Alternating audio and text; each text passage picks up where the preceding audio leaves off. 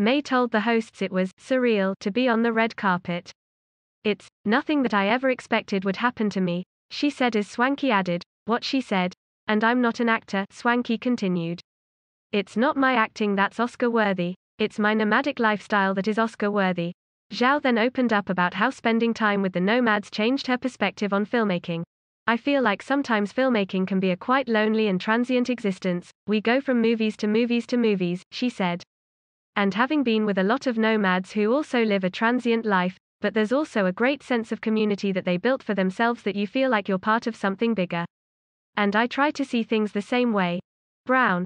Here's what the Florida anti riot law actually does cancer patients surgery delayed as ICU usage rises St. Lazare, Q to support local restaurants by creating a park for takeout. WH advisor on reports that vaccinated U.S. tourists can visit EU this summer. Quebec reports 1,014 new COVID 19 cases as hospitalizations and ICU numbers drop. Healthcare workers in Ontario hospitals given ability provide care outside regular scope of practice. Community members hold anti brutality demonstration in MONTREALCOVID 19 testing surging in Halifax amid spike in cases. Trying to tell us the sky is not blue. Omar reacts to Graham's remarks drive. Fauci offers a clarification on vaccine boosters. Nova Scotia further limits gatherings amid rise in COVID 19 cases. Nova Scotia doubles fines on gatherings after breaches amid COVID 19 lockdown. Unarmed man shot by a Virginia deputy who gave him a ride hours earlier. Viral pool noodle brawl started as a pandemic boredom joke on GPS. The meaning of genocide How anti media rhetoric finds its way into judicial opinions in addition to Swankie and May. Zhao also focused on Bob Wells, another real nomad from Bruder's book. They each have a talent in connecting with the person in front of them, and that's really what great performance is when you're reacting and you're connecting, and they were able to do that in front of the camera, which is pretty incredible, added Zhao.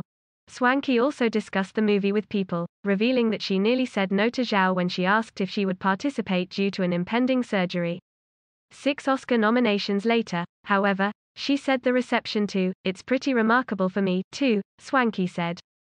It's going to be a treasure for my kids, for sure. My little granddaughter is 12 and she's in local community theater now, so now she's out bragging about grandma. As for May, she said she was more on board from the start. Well, it's my philosophy if you ever get invited to a party, say yes, she said. I just like saying, let's try that. I'm always for trying new and different. The way we talk, the way we connected with each other, Chloe just got it, she continued. She just really understood what we were about and how we lived. She just took all the parts out of the book and put them in the movie. All the experiences, the true life things that she picked out, she just had such a great eye for everything. The 93rd Academy Awards are airing live on Sunday, April 25th at 8 p.m. Eastern Time, 5 p.m. Pacific Time on ABC.